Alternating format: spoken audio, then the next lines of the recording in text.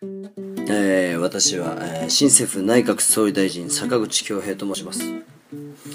えー、もう好き勝手やってます。えー、私はですね、えー、国家など無視して、えー、一人で勝手に新政府をやっている、えー、まあ、水教者でございます。私、あの、躁うつ病という病気を持ってまして、いわゆる精神障害者っていうなんて認定されてるわけでございますけれども、そんなところでどうやって私生きていくのかいっていう。それが僕にとって大きな生きるテーマになっているわけ。民主主義って言いますけれどもね、民主主義の原則は多数決ですから、で、その中の過半数を超えた意見だけを取っていく。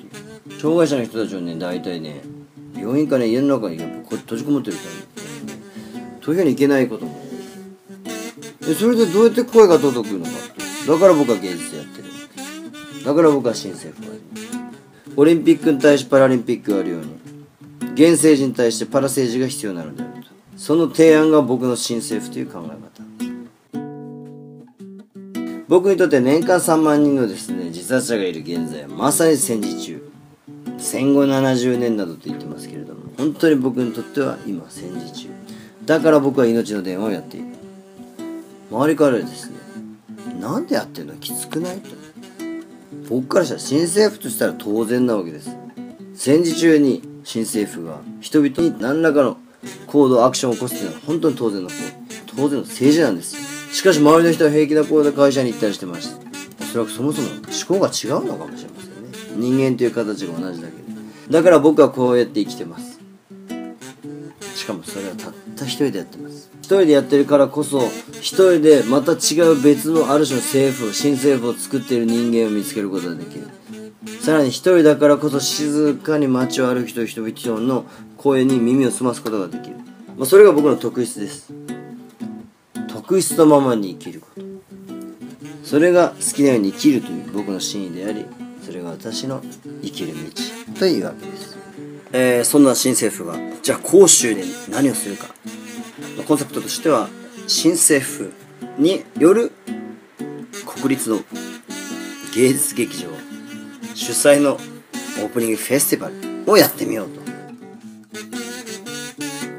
それはもう劇場の周辺で起こります。劇場の周辺に私はフィールドワークを滞在中にすると思います。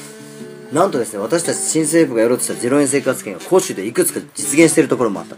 で、資本主義のその次の、僕がこれを態度経済と呼んでますけれども、その態度経済っていうのがですね、実はこの街でいろいろ起きてるんだ、いくつかの空き地、空き家を生かして、そこを利用して、そこにある空間を作り出すことで、つまりそこを新政府のパブリック空間とすることで、私がですね、季節風ならぬ公共風というかですね、公共の風となって、風の通り道を、えー、作り出したいと。思う。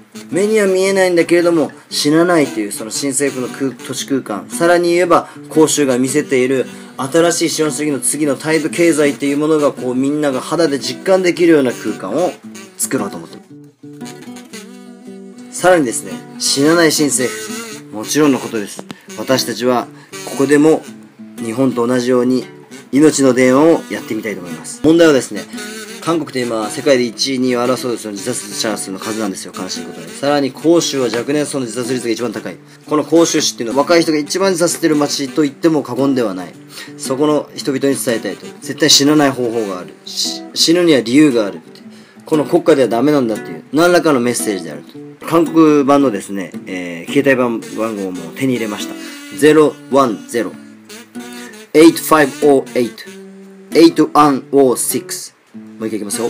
010-8508-8106死にたい方はこちらへお電話。新政府でした。それでは皆さん、9月4日のグランドオープンに会いましょう。新政府内閣総理大臣、坂口圭でした。バイバイ。